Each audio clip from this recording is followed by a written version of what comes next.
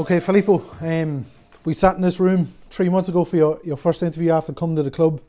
Um, obviously, the, the season hasn't finished yet. We still have a cup, cup quarter final and three Europa League games left. But the league season's come to an end. We finished third, qualified for Europe.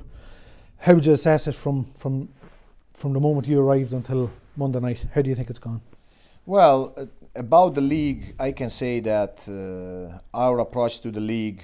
Uh, was a little bit um, weird because when they, they called us, when they hired us, the focus was completely direct to the qualification at the Europa stage.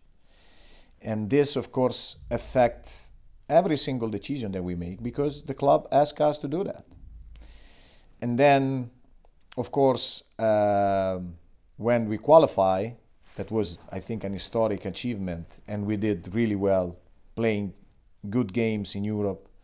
Um, of course, uh, then we restart to focus on the second second objective that was qualify for the for the Europa next year. Uh, I'm saying that because um, the the the run to win the league was already compromised when I arrived. So of course the club was asking only to be focused on the Europa stage, where also money are, and I can understand.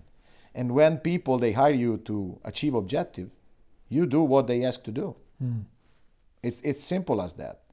But at the end of the day, the fact is that um, we achieved the objective. It was the third position. The third position we achieved.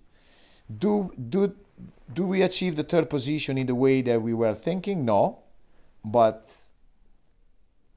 it's it's clear, it's clear, it's sunny that how we play with Shamrock, how we play with Finn Harps, um, how we prepare games to play against uh, Waterford or St. Pat.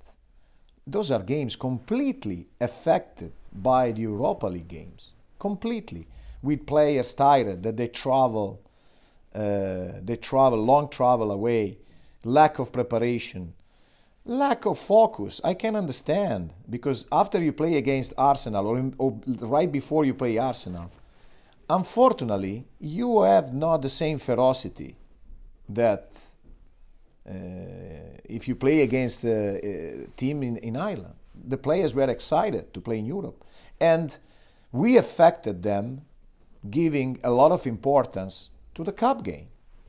And uh, I know there are fans that they are upset about it, but we did exactly what we decided to do. Mm. This is not about knowledge of the League of Ireland, about our knowledge of the game.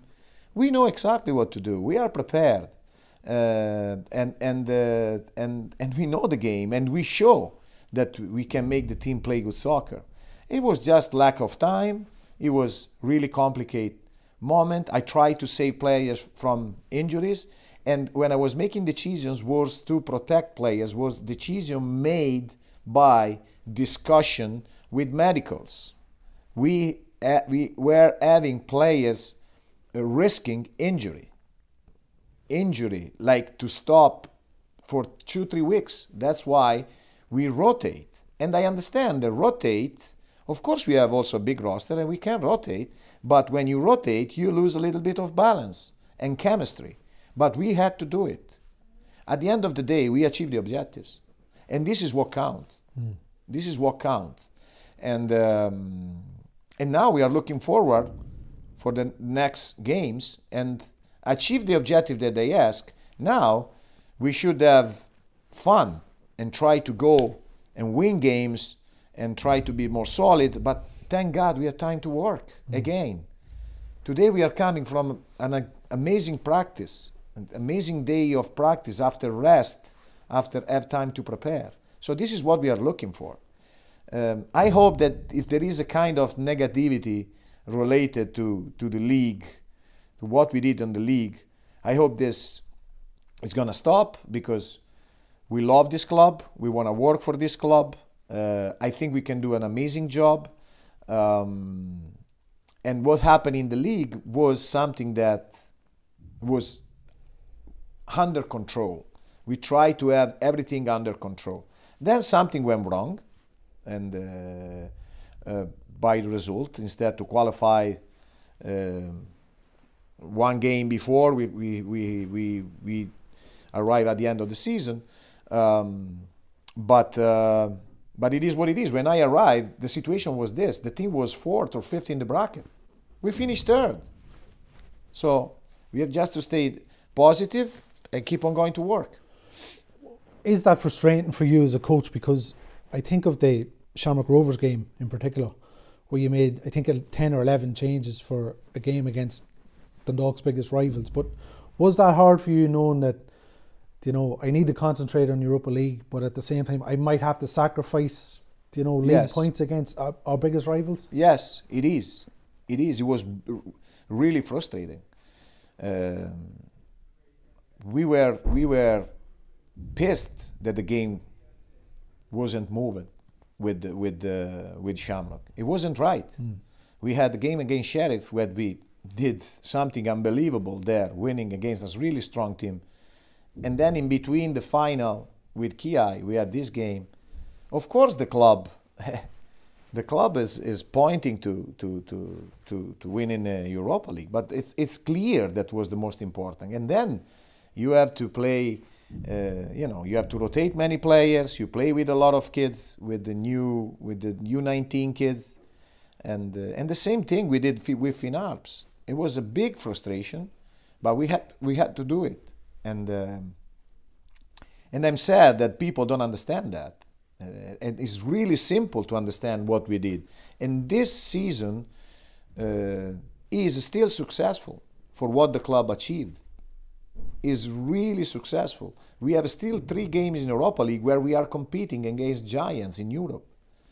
We are doing really well. Is is reality.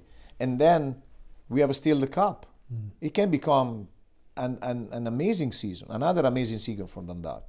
And we're going to fight until the end, for sure. Yeah. I go back to the game against Arsenal at the Emirates as well. Like around the hour mark, you took Chris Shields off, you made a couple of substitutions. Was that obviously that's in mind for the game on a Sunday? It, I think it's incredible that you're playing Arsenal, but you're also worrying about St Patrick's Athletic on a couple of days later. Can you imagine? Mm. Can you imagine, even for the players, what we had to do? They were not tactical decisions. They were decisions to make sure that the players they can perform in two competitions. And this affect everything. And then people think that I am crazy and make substitutions. That's that's, that's ridiculous think like that. Uh, but nobody is here to work with us every day, and nobody knows our situation internally.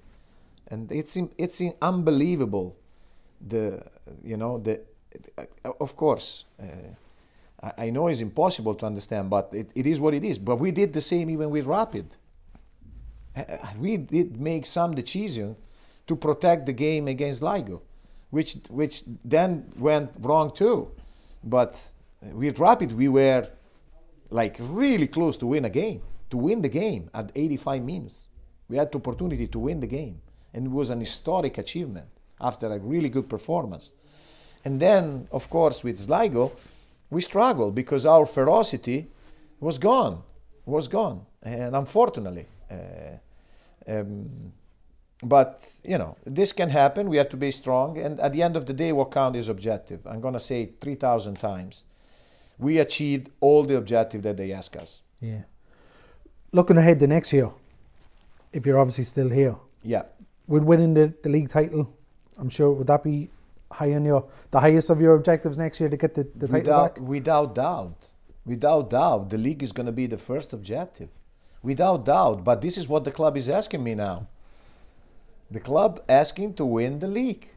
It's simple. And we're gonna direct our our uh, attention to that. It's really simple. So it, it, I don't think it, you need a scientist or it's not a rock science. It's what the club is asking you to do, and and then uh, and then we will execute at the best we can. Yeah, you've had a week, nearly 10, 11 days to prepare for Bohemians, which must be crazy because you've yeah. you've had only two days to prepare for a lot of the games recently. How how are things in terms of injuries? And you know, you gave the couple, the players a couple of days off this week, which Absolutely. I'm sure they, they they were delighted about. How are the preparations going for the game next No, week? it's going really well. Like I said, we had a great practice today. Finally, we can rework a full, with full energy. Uh, many players that they're injury, they are coming back. Um, so Pat McEleney, Duffy, Kelly, etc. Now we have we have the new injury is Pat Hoban. Um, let's see. We are evaluating him. Uh, he doesn't look really good right now. Um, but let's see. There, is other check to do, and uh, and I hope he's gonna recover. He's gonna recover fast. But this happened because you know, like you play a lot of games, and the risk going up.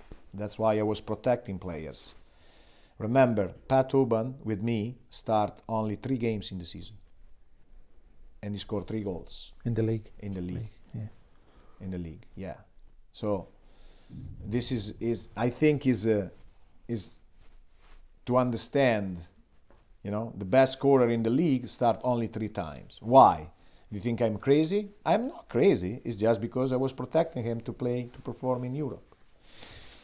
Um, anyway, You spoke after the game on Monday. Um, you're saying it's a busy week off the field and speaking to players. And Yep. can you give us any update on how that's gone, or is there any progress? We start to, to talk with the, with our players. Uh, we are having a lot of conversation even with other players. You know, with the the, the, the sure thing is that Dundalk wants to bring, wants to build a really strong team to win next season. Is the reality, and uh, and we're gonna do everything is possible to do it, and we want to make this team stronger and uh, and successful um, to make happy the fans. Yeah. You'd be happy if you won the cup. That will be amazing. it will be a super ad for our season. Uh, the, the, the club wasn't really focused on the cup, but now now that we are there, Yeah. oh for sure, we are really excited, and and uh, it's becoming another important objective for sure. Brilliant. Best of luck, Filippo. Thank you.